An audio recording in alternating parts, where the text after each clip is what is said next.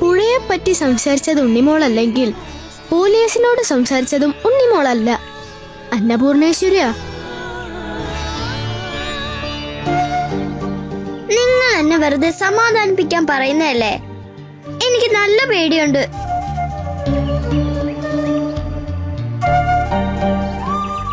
ഉണ്ണിമോൾ അങ്ങനെ പറഞ്ഞപ്പോ ഞങ്ങളെ പഠിപ്പിക്കേണ്ട.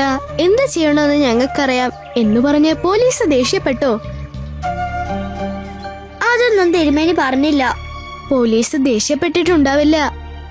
ദേഷ്യപ്പെട്ടിട്ടുണ്ടെങ്കിൽ തിരുമേനി അതും പറയുമായിരുന്നു.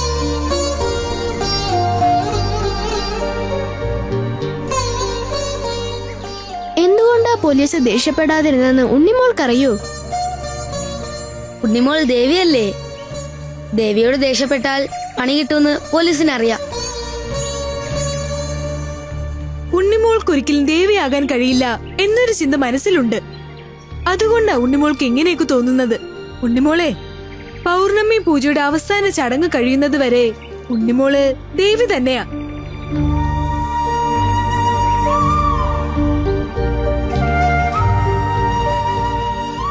അതുകൊണ്ട് പറയാൻ തോന്നുന്നതൊക്കെ ഒരു മടിയും കൂടാതെ പറയണം.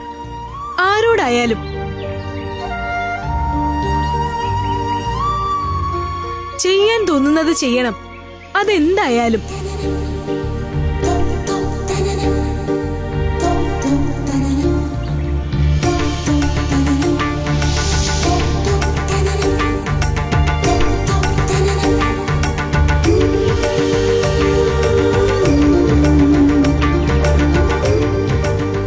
പുത്ര. പുത്ര. പുത്രന്റെ ഒരു പ്രാർത്ഥന നാം നിറവേറ്റി കഴിഞ്ഞിരിക്കുന്നു. ബാലികാദേവിയുടെ നാവിൽ നാം ഒരു മാത്ര കുടിയിരുന്ന് കഴിഞ്ഞിരിക്കുന്നു.